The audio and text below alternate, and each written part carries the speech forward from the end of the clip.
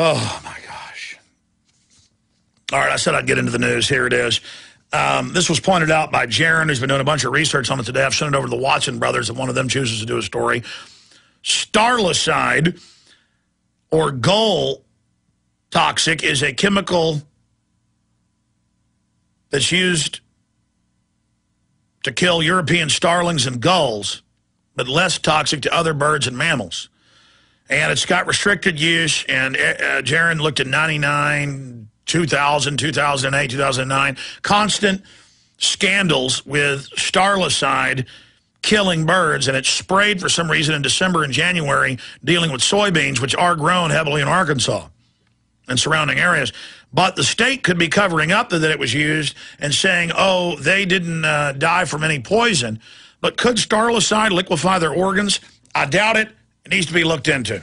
But uh, something that uh, Jaron dug up there, and that is important. We know they use restricted pesticides all the time without authorization. It wouldn't be the first time the state covered it up because the states are caught all the time using restricted pesticides.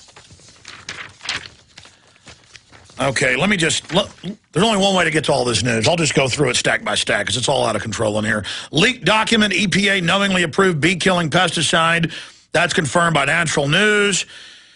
And uh, it, it, goes to the fact that they knew that the pesticide cloth e clothianidin, clothianidin, uh, would wipe out honeybees, but the EPA quietly gave authorization for it to be used nationwide, and it's used in Europe. And those are the main zones where the honeybees are dying in mass, along with most species uh, of bumblebee, which pollinate the plants, but corporations don't care. They'd rather tax your carbon dioxide that plants breathe instead of caring about anything serious. Ah, open air clones, open air cloned animals, toxic waste everywhere, chemical warfare, biological weapons, genetic engineering, mouse pox, flu shots everywhere, all these dangerous things, all these mutagens. Let's not worry about that. Let's worry about mother's milk to the earth, carbon dioxide, just absolute buffoonery get all the hippies worried about something that doesn't matter instead of all these real crises. Man, whatever.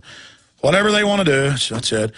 Uh, mass bird and fish die-offs go global, spark end times panic. Brazil, Sweden, New Zealand hit with strange phenomenon as speculation rages. Key article by Paul Joseph Watson boiling all of that down. Why are the animals dying, birds, fish wiped out in mysterious deaths? Mike Adams got a good report on that. Uh, Victorian uh, River up in uh, Canada uh, turns bright green, very mysterious. Don't know what's going on with that. Uh, humans have intentionally modified weather for military purposes and climate control for decades. So how do we know all this freak weather isn't caused by that? Or chain reactions from weather modification? The answer is a lot of it is caused by that. Uh, and uh, we've seen a lot of floods and things in the past have been connected directly to Army testing and Navy testing right here where I live in Texas. It came out in, about 12 years ago in the San Antonio Express News. They caused a bunch of floods. Um, so that continues. This is just one stack. I got like 10. I'm never going to get to all this. Um, so that's an important area. Here's another report. New York City blizzard. Feds open criminal probe into alleged city worker conspiracy during storm response. It's been confirmed that they had a uh, union slowdown. You know, how do you do that when people are dying? Can't you have your uh, protest some other time? But it, it, it's just insane. Continuing. Uh, oh, no, not another ice age. And uh, even Fox News covered this. This is uh, a report here from IMVA about how incredibly accurate uh, the uh, predictions were of Piers Corbyn. We had him on here early last year. He predicted exactly what happened dealing with the solar winds and also magnetic effects of the Earth in relationship to moon cycles. Amazing. And there's a lot of reports about how devastatingly accurate he is. We're going to be getting him on.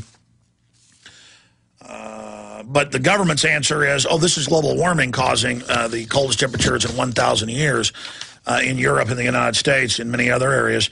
Uh, incredible article on London Guardian. The Tories are going to turn over the national parks of England completely for private sale and logging to pay off debts to foreign banks. Just, just like they're handing over the islands of Greece uh, to the foreign swindling banks. Same thing here. For sale, all of our forest, not some of them, nor most of them, the whole lot.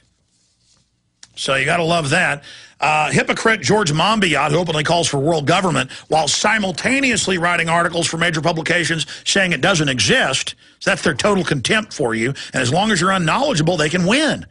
As soon as you're as smart about the New World Order as you are about football, you'll see what scum they are. They revel in you being ignorant. Get smart now.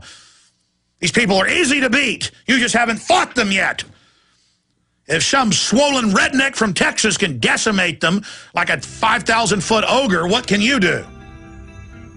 Hypocrite George Monbiot condemns large, expansive homes except his own, just like Al Gore, just giant, lavish, 20,000 square feet, jet aircraft, Al Gore, Monbiot, the Prince of Wales. You shouldn't be able to take a hot bath, but they got scores of homes, just hypocritic, bloated scum, handing over the forest, sawing them down everywhere. But don't worry, a carbon tax will save you.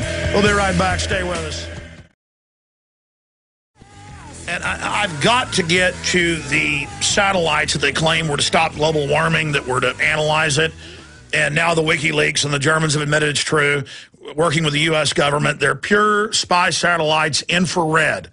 Now, what they don't tell you is the big secret weapon is on the ground, they get an infrared scan of your body from passive uh, uh, cameras. They then attach it with a face scan integrated in that they already have from your digital photo and your passport or your driver's license. Now they have your heat resonance. Then they create a model of that from the top of your body and off your heat signature from your shoulders and the top of your head, they can identify you from space. And that's what this is really all about, and that's the big secret weapon Bob Woodward talked about that he wouldn't tell you what it was uh, over uh, in uh, Iraq. And they've also got other wavelength uh, systems that send out uh, basically a sonar wave that goes through your clothes. Then they can scan a 360 of your body, but they need a biometric scan. That's what the naked body scanners are for. One use is to get that 360 bio scan. And I told you that two years ago, and now it's uh, even the Wall Street Journal told you that. So, look, I know what they're doing. Uh, okay, I can just, and it's disgusting. And uh, but oh, it's for the Earth and global warming satellites. It's all lies.